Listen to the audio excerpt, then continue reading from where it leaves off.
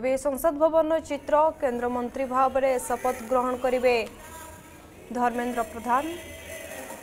ମୁଁ ଧର୍ମେନ୍ଦ୍ର ପ୍ରଧାନ ଲୋକସଭାର ସଦସ୍ୟ ରୂପେ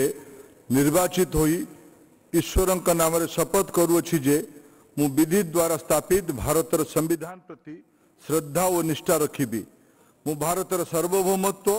ଓ ଅଖଣ୍ଡତା ଅକ୍ଷୁଣ୍ଣ ରଖିବି ଏବଂ ମୁଁ ଯେଉଁ ପଦ ଗ୍ରହଣ କରିବାକୁ ଯାଉଅଛି तहार कर्तव्य श्रद्धापूर्वक निर्वाह करें